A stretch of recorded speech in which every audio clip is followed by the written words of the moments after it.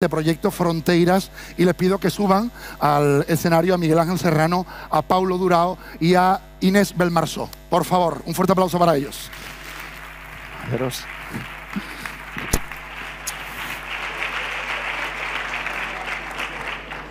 Buenas tardes.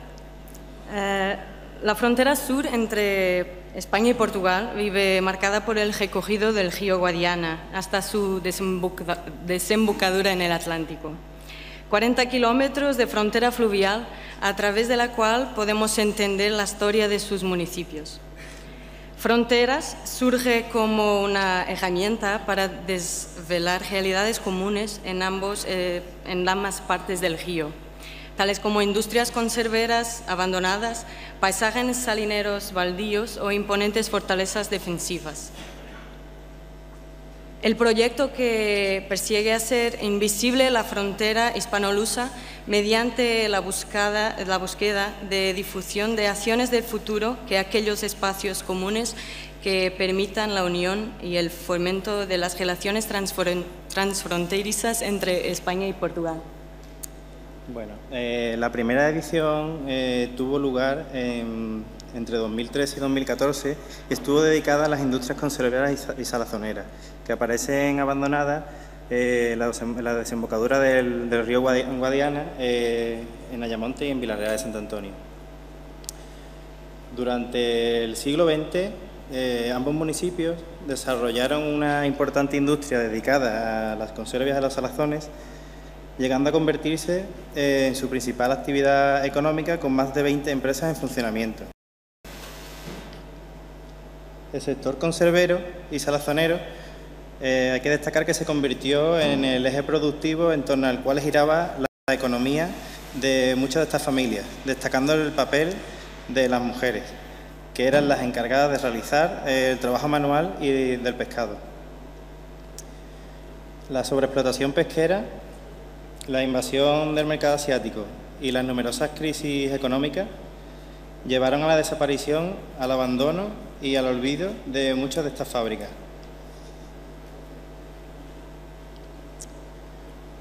El primer evento de Fronteras eh, fue una, exposición que montamos en Ayamonte, en la que recopilamos eh, tanto fotografías históricas como latas de conservas antiguas, litografías incluso utensilios relacionados con, el mundo de, los salazones y, las conservas, apoyándonos eh, en, antiguas cajas de pescado.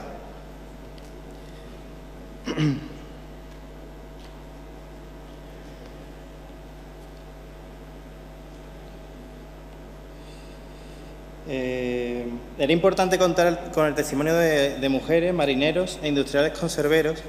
Eh, para ello, pues realizamos un documental con entrevistas que empezó a generar un cierto debate en la calle sobre la recuperación de la memoria de, esta actividad. Eh, para poder financiar alguna de estas actividades recurrimos a, nuestra imaginación y sacamos a la venta mm, memoria en lata, por poner un ejemplo. Era un souvenir que servía tanto de portarretrato eh, como de, como de, bueno, era un, interior contenía fotografías relacionadas con las industrias conserveras. Eh, en paralelo a todo esto, pues iniciamos diversas rutas patrimoniales eh, para conocer tanto las industrias conserveras en activo como antiguas fábricas abandonadas, a través de un recorrido por el puerto y por el municipio. Además, pues organizamos eh, un seminario de arquitectura, patrimonio y paisaje que permitió el encuentro de universitarios españoles y portugueses, donde se desarrollaron proyectos de futuro sobre las antiguas fábricas, eh, reutilizándolas mm, con nuevos usos adaptados a las necesidades actuales. Pusimos fin a esta primera etapa de frontera con un concurso de fotografía hispanoluso, que culminó en una, exposición itinerante por Ayamonte, por Villarreal, de Santo Antonio y Castromarín, bajo el título de Pasado, Presente y Futuro de las Industrias Conserveras del Guadiana. Hace unos meses eh, fue derribada una de las pocas industrias conserveras que, aún se mantenían en pie en Ayamonte, haciendo inevitable que nos preguntásemos si toda esta investigación eh, terminará quedando en el olvido. con esta idea genial, Fronteras ha crecido con el paso del tiempo, recogiendo la frontera en busca de otras eh, realidades.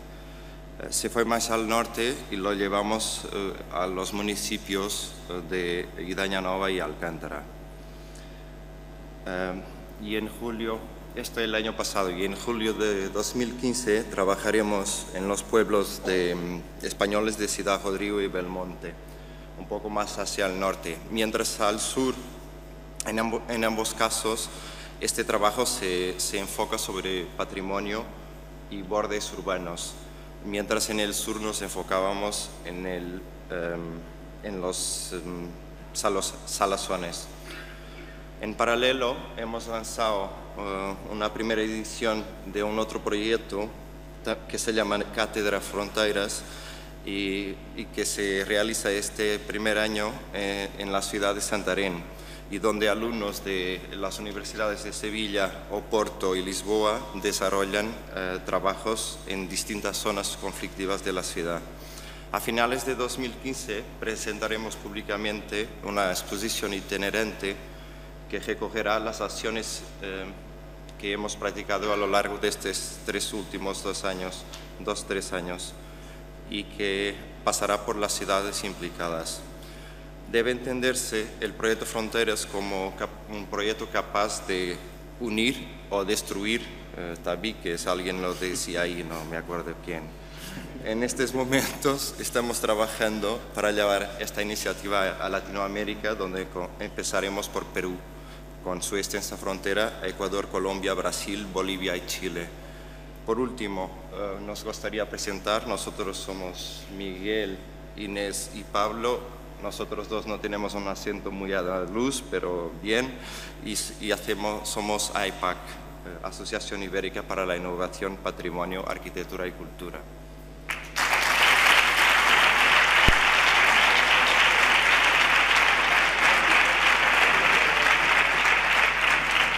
Encantado.